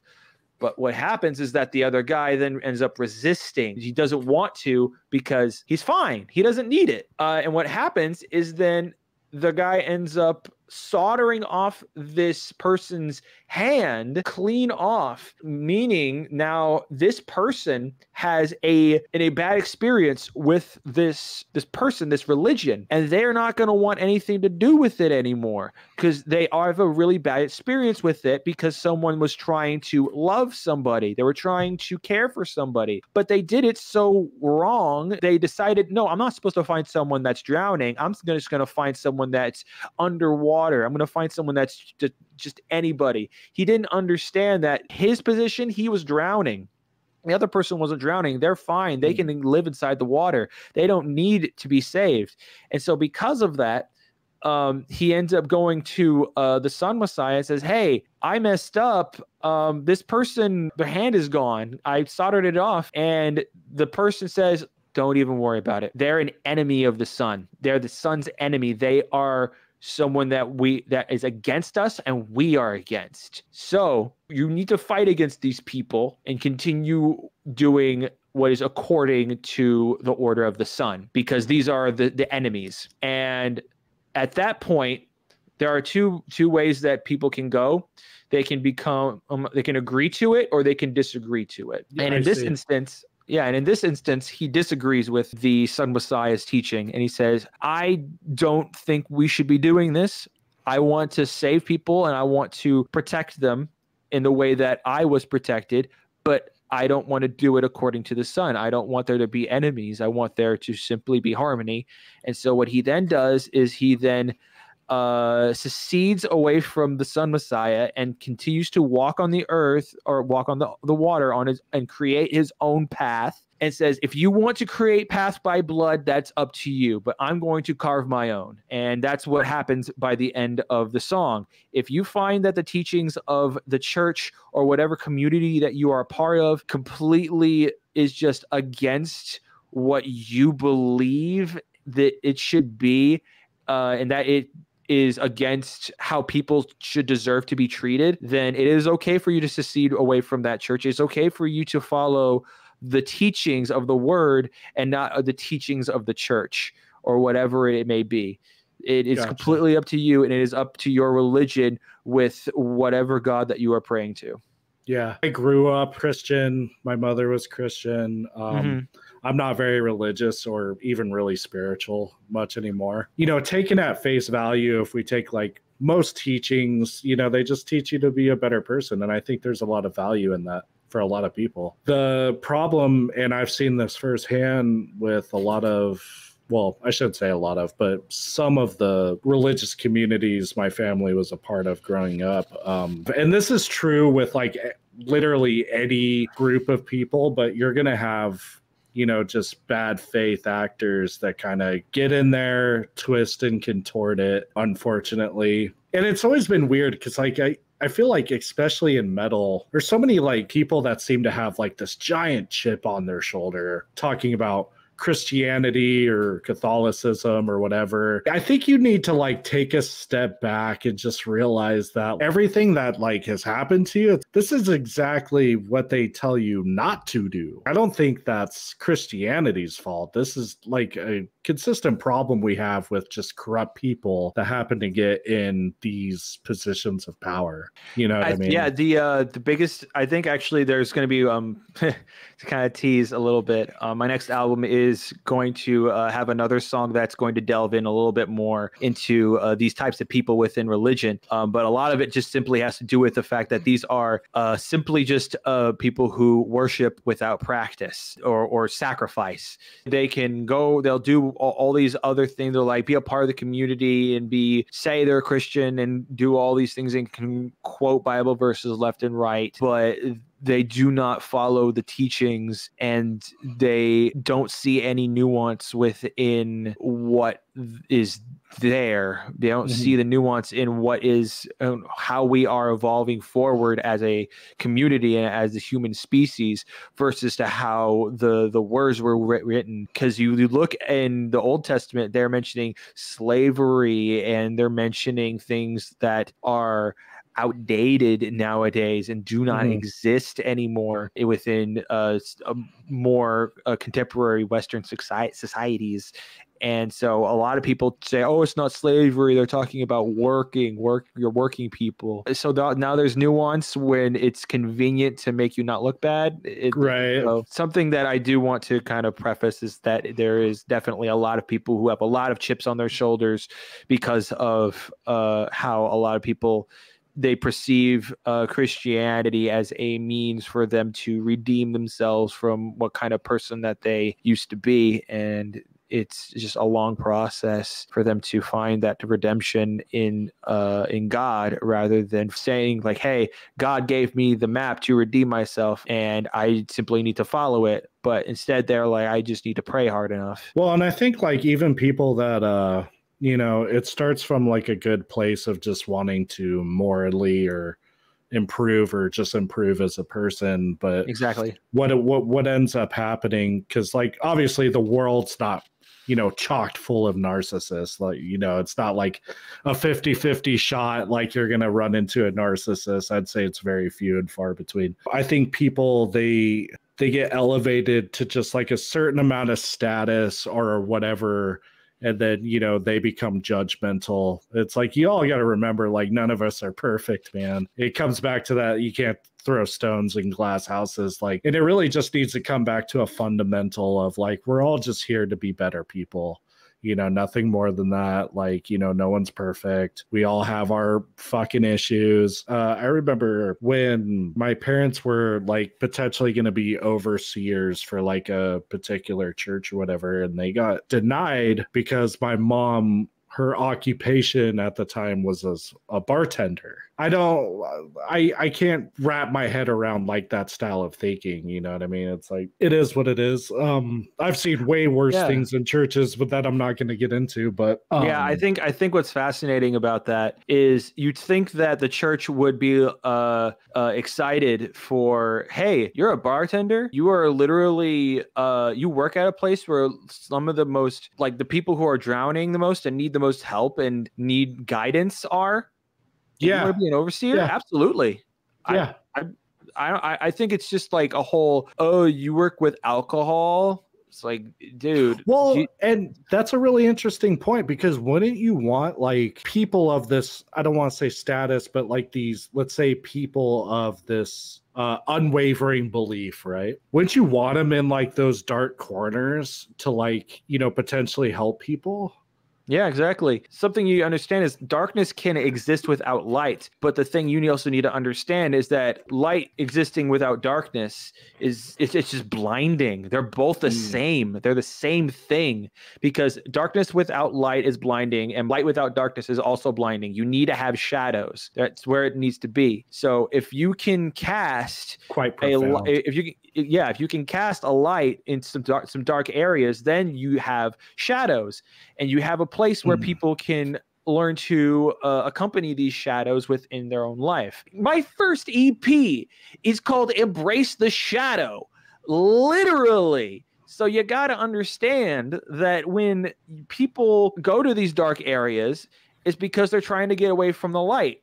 And so you as someone that is can be a light can bring it closer to them. It's like, yeah. hey, yo, I heard that you just uh, you lost your job. You're uh, your your wife just settled in for a, a, a, divorce for you. I'm sorry you're going through all this. It sounds like you really need some uh, you need some uh, some company and some communion. I actually have a, a church that would like to uh, come in and to accept you and wanted to know if you were uh, open to just spending some time with us. You don't have to go to church. We'll we have this time where we all just gather together. We eat food and we just talk and have a good time. We have a little bit of a Bible study, and if you want to zone out on that, that's okay. But just yeah. want you to just spend time with us. Get Even some- as simple as, you know, just going out of your way to like understand someone, you know, what they're going through and be like, you know what, I'm genuinely going to pray for you. That's me letting you know that I'm going to be thinking about you and I'm going to be hoping for the best for you. Mm-hmm. And I think that goes a long way. Um, again, not a very religious person myself, but I can see the benefit of it. For sure, um, for sure. I and but you in a lot of your storytelling there's a lot of symbolism and themes of like angels demons and heaven from you know valley of the flies unfeathered. Unfeathered kind of feels like that fall from grace. So there's some uh angelic themes if you will all the way back to reaper of dreams. You know what i mean? So that's why I kind of felt like there was this uh you leaned a lot on your religion, whatever that may be, to kind of tell these stories. I think something fun uh, funny that uh bring speaking of Reaper of Dreams, um the uh, I was struggling with the lyrics for Unfeathered for a while because uh, the lyric um, "A poison crow unfeathered by bliss." I'm like, man, why why am I going back to crows? That's so like tacky. I'm going back and using a similar thing, but then I think, wait a minute, no because a crow is supposed to symbolize a fallen angel. And when a fallen angel is then become poisoned and they lose their wings, that's even worse. And I'm thinking, yeah. wait a minute, no, this actually works. Yeah, yeah, absolutely. Um, I think the whole thing works. To talk about the song itself a little bit, just more musically, uh, mm-hmm. I absolutely adore the guitar progressions and melody you had with this song. And I hope that we get more moments of that from what you do in the future is such a standout song and, Messiah, a, and, a, standout premise, dude. Uh, now that you've helped me understand it more, Sun Messiah, right? Yeah, yeah. Something I've always found like super fascinating too. Have you ever there's a show on Netflix called Midnight Mass on Netflix. I've um, never heard of it. I recommend you watch it. You might get some inspiration from it. I think you would enjoy it personally. The the premise of the show is basically this pastor gets um contracts like a like vampirism becomes a vampire. And the vampire that does this is, you know, a more traditional style vampire with wings and everything. But in this world, vampires and angels are one and the same. So these vampires are actually like to be bitten by this vampire is like to be touched by God basically. Huh. And something I found like really uh, always interesting is this idea of um, there's actually like a section in the Bible that says it. I can't remember the direct quote, but it's like something about like we couldn't describe an angel to you because it'd be like horrifying, right? So I've always been like fascinated by this idea of like almost Lovecraftian idea of like an angel, like from like another dimension that's just like monstrous that almost like drives you insane just to even like bear witness to it. Um, but yeah, I would check out that uh mid it's called Midnight Mass on Netflix. That's completely off topic a little bit, but I always just uh thought that would be like a fun uh horror idea to explore the horror of angels, uh, almost like uh, but was it Born of Osiris, uh, Alien or Angel? Like that kind of premise. Yeah, yeah. Dude. Angels yeah. or Alien. Now, finally, we can move on to the last song. Thanks for bearing with me, dude, and pouring your heart out with all this, man. I really appreciate. Thank you for it. having me on here and let me do that dude i i think you have interesting story to tell um through all these songs. Let's see, Voidsayer. This is one that probably should have resonated with the most. Similar to Glass Archer, you kind of allude to. No, I'm sorry. I'll just read the whole thing. The Voidsayer is all about fakes. Instead of it being about looking good, it's about being inspired and caring to gain something in return. They prey upon people in need of help by feeding them the sweetest little quotes that do about as much as a screen door on a submarine. I originally compared this attitude to Melanie Martinez. Who the fuck is Melanie Martinez? Giant, giant super pop star. Okay. No idea. See, see, man, I'm probably the- better the- off. Yeah, no, like she literally had like to to stop for a moment. Uh, she literally had like two albums that were essentially taking like this perspective of like, oh, I'm a I'm a little girl going through all these these traumas, and I'm just I'm perceiving trauma. I'm so out of touch with like pop star Yeah. shit.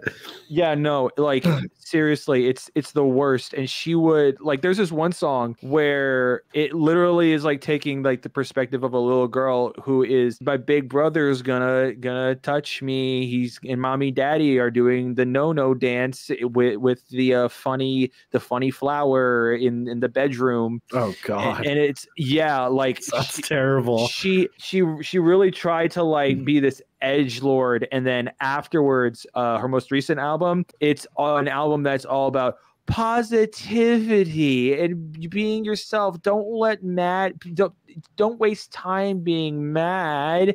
It's like dude you literally have essay allegations on your hand and you you you you sent all your fan your fans to go and harass the person that calls you out for it so no she's a terrible person She was like, "Fuck person- you, got mine. Yeah. Now we can talk about the good shit." yeah and then the other person uh, which i'm sure i i talk about on the notes is Dhar Mann do you know who that is No, yeah, you don't. I don't think you mentioned it here. I'll read So the Dhar Mann- rest real quick. It just says, yeah yeah yeah go I it originally compared this attitude to Melanie Martinez, but I think it was more like dozens of YouTube channels that make videos like racist Karen attacks young black boy. What That's Dhar Mann. happens next will shock you. that's Dhar Mann Um, okay. It's not about teaching anything real. It's about getting your attention and in the long run, your money. So yeah, explain to me this guy that you mean you're talking about. I mean that title, it's clickbait as fuck, but I'll get into uh, yeah no my that's opinion ex- on this. No, that's literally what uh, Dhar Mann does. He uh, literally uh, has an entire slogan where he's like, "We're not just telling stories; we're saving lives." Oh Uh-huh. god. Yeah, and he literally ended up getting in trouble for not paying his actors and his crew members like barely anything, like absolutely penny pinching eh, in order for him to save money and to be able to to spend money on whatever that he wants. And it's like, bro, these people are trying to eat. These people are trying to live and you're just only worried about your own survival. You got to be kidding me, you fat cat. And I think honestly, a different uh, coin to kind of bring that on there. It's not even just like that. It's like the Andrew Tates, you know, like all Yeah, the, like, yeah. the, the, the people who are like, this is a type of person you got The. You gotta- whatever podcast. Yes, Ah. the the Adam 22s where they're on the Joe Rogans where they're trying to be these uh positive beacons of of of intelligence. Yes, they're trying to oh you got to improve yourself. Dog, all the stuff that they're telling you on how you need to improve yourself is some of the most backwards flat earth type bullshit. Like he's out here trying to tell us like oh bro like uh, dmt you ever done dmt before? It's like bro you want to talk about hallucinogenics? Why don't you take some ayahuasca? Like you need to change your whole like personality dog because you you need to like realize just how disconnected from intelligence you truly are. Yeah, you you can be aware that you're dumb, but you're not aware enough to know when someone else is dumb. You got to understand dude. that. I grew up between Colorado and Southern California. So, two places that are very liberal uh, with their drug use, right? And I'm pretty liberal with it as well. I don't partake, but I see the benefit of things like marijuana, obviously, and even like, you know, psilocybin and mushrooms. That doesn't mean I want like DMT readily available for people because, like, the fact is, like, some people just shouldn't have their hands on shit like that whatsoever, dude. People with addictive personalities, people who Yep. who who have you know they have known substance abuse histories i know for a fact that one of the biggest reasons why i don't drink is because i have an addictive personality i know that the moment i start sipping on that sauce i'm gonna be lost The thing that's stupid about the red pill shit is on its face, like just oh, we're just trying to improve the lives of men. Like that's all great. It's like I dude, I don't know how to feel about it because some of it is like so it should be like common sense, right? Like some of the I- shit I, that can they're tell you saying. i can tell i can tell you the biggest reason why uh its biggest problem is promoting competition within people that have no interest in their lives. Oh, you're genetically like this. You're just like this. So you got to act like this. Working out is great. Eating Yeah. healthy is great. But these are all basic things. Keeping a sharp eye on your finances is great. But the problem is, is that you're going around and saying like, oh, the beta, alpha, and all this stuff. Yeah, Dude, yeah. you- it's morphed into something else entirely. you know you know what I ended up finding out? Did you know that the alpha and beta and the sigma whole omega shit that doesn't partake to wolves? It never did. It pertained to roosters. It pertained to chickens. So literally, people are comparing themselves to cocks. That's insane. Not any of that, but stupid fucking animals to begin with. The Um, stupidest. yeah. Hey, I love chickens, but uh, I ain't gonna stop me from eating one. But uh, me too. dude, yeah, it is hard to look at this shit like your example of like the racist Karen attacks young young black boy fucking clickbait, dude. Like it's hard to see this shit, dude. Like the just like drama farm shit, right? And not just feel like black pilled or like somewhat like nihilist on shit, dude. It's like fuck me. Just I hope fucking Sephiroth just like uses the black materia to fucking destroy the fucking Bro, right now. dude. Like- what a pull, Sephiroth. Let's go. You like Yeah. the game? Yeah, it's all right. I think you would FF7 was the first RPG I ever played back in the day. So that's like I have a lot of uh nostalgia for that se- that uh game in particular. So you may or may not like it. I I probably enjoy it because it's like very nostalgic for me. I- but I if you're not thing- into it, I used to have a thing for uh, RPGs back when I was working as a telemarketer because it was easy for me to play video games and talk to customers customers at the same time but now i'm i'm like nah i can I, I I prefer playing fighting games, but now I don't even play fighting games anymore. I just play Elden Ring. My wife and I have been playing Oh, that. It dude. is- I'm a Elden huge Ring- Dark Souls geek, bro. Dude, dude, Elden Ring might be a solid like top five game of all time. I Oh, yeah. like I It's a masterpiece. Like I, I would legitimately put that up there with like Mario 64 in terms of like groundbreaking video games. It's gonna be a hard one for Miyazaki to top. And the fact he said I ain't even dropped peak mm. yet? What? Dude, everything that man drops is fucking peak when it No, drops. no, no, dude. no, no, no, no. Dark, What? Dark Souls 2. Dark Souls 2 's that wasn't. Miyazaki. That wasn't him? Dog. Okay, that makes more sense. That makes so much sense. Because No, dude, Dark dude, I'll die on this hill. Dark Souls 2 is fucking hot garbage. it dude, the fact that there's a stat, I didn't know this because I've never played Dark Souls Adaptability. Adaptability. Are you insane? The fact that the enemies can chase you forever and will keep chasing you until you have an entire horde of enemies chasing after you. What are you talking about? Yeah. Why is every enemy look the same? Every single fucking boss is a knight.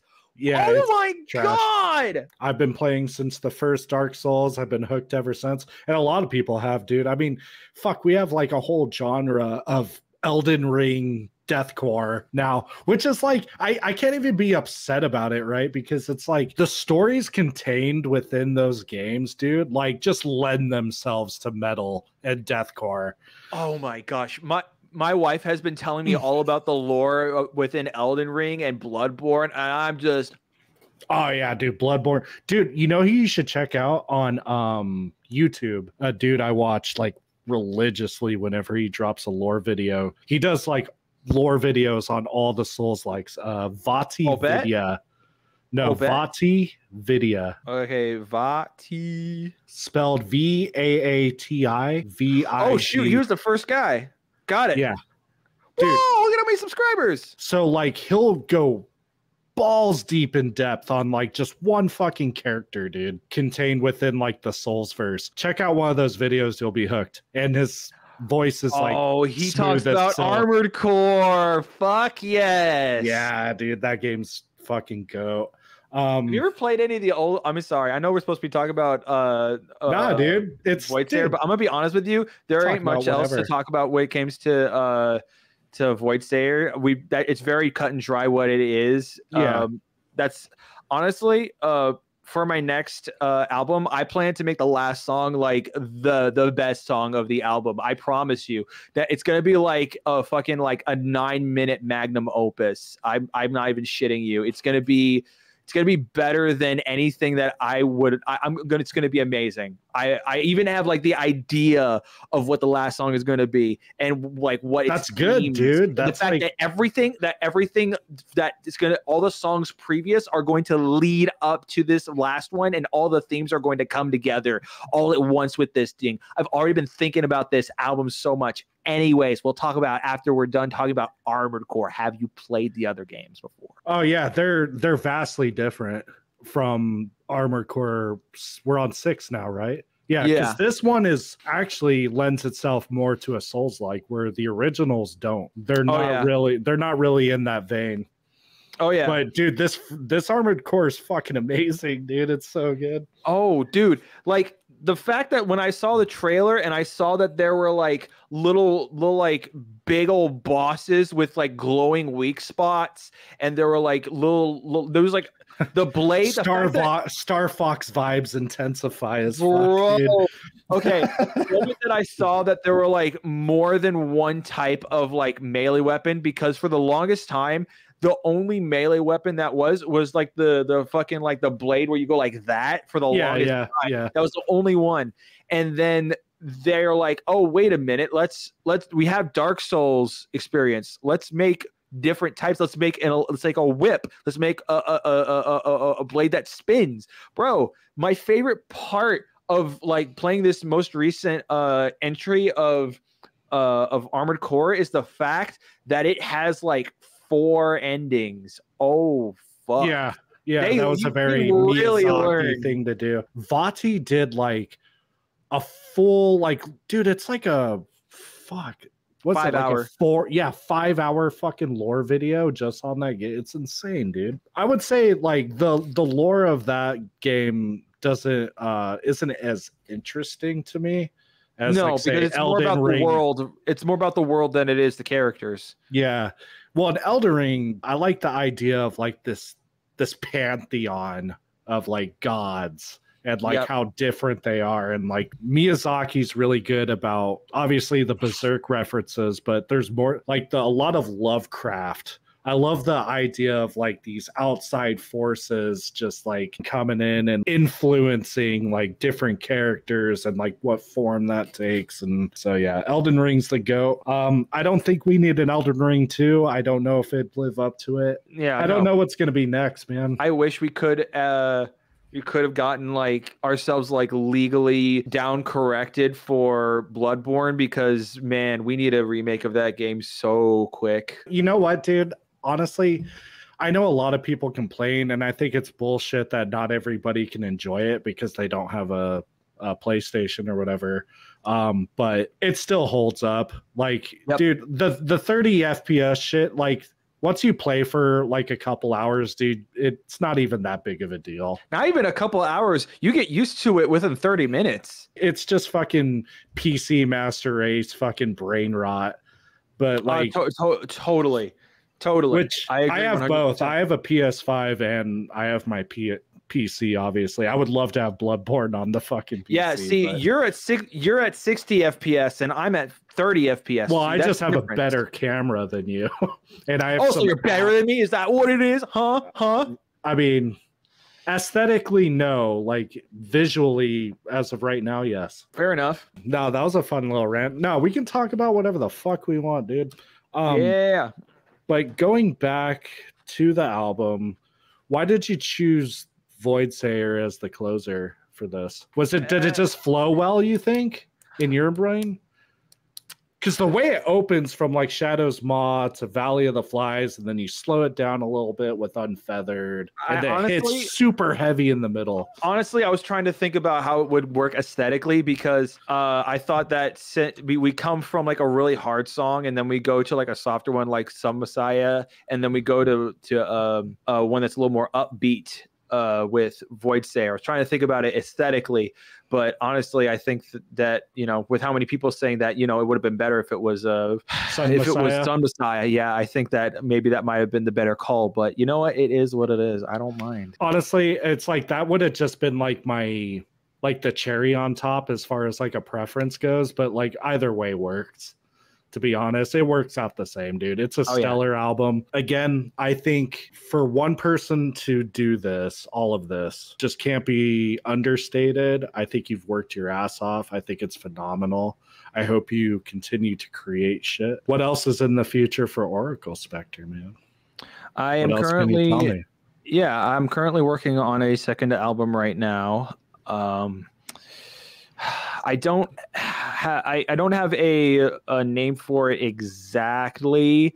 So the idea is that the song or not the song, sorry, the album is basically going to be about where this alien, this cosmic alien descends onto Earth and it basically says to everyone, "Hey, y'all suck." Like really like Yeah. really suck. I'm able to travel across entire galaxies within the amount of time it takes for you to breathe. And I have observed multiple different different types of species and I think that for you guys, you guys are the ones that I believe that I should intervene for once. I never I don't usually intervene with any of any living life forces at all. But you're the first one that I'm going to intervene with and I'm going to give you guys seven reasons why I'm going to throw you all away. now, mind you, now mind you, your planet's going to be okay. The animals that live on it are going to be okay because they have a purpose on there. You don't. All you do is go around and just benefit from it. That's not even the first reason. I'll give you the first reason and then he goes into the first the second song, third song, fourth song, and it goes on and by the ninth song, humanity collects itself and there's one guy who they bring forward to represent humanity to speak with this cosmic entity and is a very old man. And this this man uh he goes up to the cosmic entity. He says hey you know everything you said about us is right everything you said about us is correct that is that is who we are however i would like to ask you a couple of questions who are you to play god to a species that you've never interacted with and you only have observed you never got to understand the nuances behind all these reasons that you have given for us. You have yet to truly understand why we are the way that we are. And more importantly, as you've said, there are species on this planet that are older than us. Uh, we are still in our evolutionary infancy we still have a long ways to go to understand how things work and how to really get things together. So, if there's anyone who should have the right to kill the humans, it's the humans themselves. If we are not meant to exist, we will do in of ourselves and do away with ourselves. You have seen countless species and you have seen them do extreme cosmic damage. However, I do want to say that you even intervening and speaking to us has proven that we there are things out there that are far outside of our understanding that we should not mess with. And to that I thank you. The song is essentially just a a response to that. The last song is a response. Jesus Christ, dude, that's a that's a hell of a premise, dude. I we're getting some alien core, dude. Fuck yeah. In yeah, the way, in the void of rings of Saturn. Thank God. actually uh to it's funny. I'm not I'm not I'm not getting Lucas on it. I promise you. Yeah. But the, the other guy that I'm going to be uh, working with actually is uh Mirar okay. because because Does he delve in those themes as well? No, but his music really can sound almost eldritch in origin because of just how Yeah, yeah. just how like almost ugly it can sound and abrasive and I love that. I'm like, dude, that's I think that's exactly what I need. I need something that can just encapsulate what each song is about and to kind of give you an idea on what uh, the seven songs are actually about, they're pertaining to the Mahatma Gandhi's uh, seven social sins. And okay. they are wealth without work, pleasure without conscience, uh, knowledge without action, commerce without morality, science without humanity, worship without sacrifice, and politics without principle. Well, looking forward to that. No, dude, I'm I'm genuinely happy that you've. I think finding the stories that you want to tell, dude, is going to continue to drive forward, and I think the music will fall into place. You know, sometimes you just got to find something worth writing about. You know what I mean? Okay. And I think that'll continue to push you forward. Now that, and we'll kind of close on this. I want to offer you just like one critique, and I hope you take this, understand that I'm saying this with love um, okay. I would say listening to the album, the one critique I would have is you have a lot to say because you want to paint pictures with your words and i understand that and you want to perfectly encapsulate and get across the point you're trying to convey i think you just need to tighten up uh, your lyrics a little bit to just mm. allow it to flow a little better and work on your delivery sean has song. been talking to me about that so other than that, I think the album is great, but that'd be like my one critique of it. Aside from all that, now that it's all said and done, it's out there, how do you feel about it? I get I don't know. I, am proud of it, but I guess I'm more uh, I guess I'm more indifferent because I know I can do better. Okay. Plus no, I guess plus I guess it's also because I know that I am releasing three songs that I would believe in theory are better than the album in of itself. Yeah. Well, we're always striving to like or at least for musical artists, I feel like you always want to strive to do better than your previous release, but obviously this tops your previous work. Um, in my opinion, I think you did a phenomenal job, dude, and I just thank you for this fucking banger, dude. I've been listening to it nonstop. I agree. I think it's one of the best uh, deathcore releases this year. And I don't think it's fair to call it cookie cutter bullshit. Like, even if like you're taking influence from things like Darko, from Surgeon, you told me you were, you know, looking at Jake's project Surgeon for some influence and inspiration. And while I can see like maybe little moments of that. I think this really is just uniquely you. It's mm. uniquely Oracle Spectre. I personally don't wouldn't call it cookie cutter. So another critique I'll offer you, dude, is all the critiques. Some of them don't mean shit. You don't have to, you know, take everyone at their word. Some can be taken with a grain of salt. So, you know, just be mindful yeah. of can I learn something from this criticism, but also have some confidence in, you know, what you do because what you're doing is fucking dope, dude. Thank you. Yeah. Anyways, everybody, this was Oracle Spectre, aka Josh Rivera, um, talking about his new album, Deceivers, that came out uh April 29th. Anyways, dude, I don't want to take more of your time. This was fun, dude. Thanks for fucking doing this despite my brother uh, being on vacation, dude, and just chatting. Fucking me, piece of shit taking time off to go enjoy spending time with his family or something like that. Fucking asshole, dude.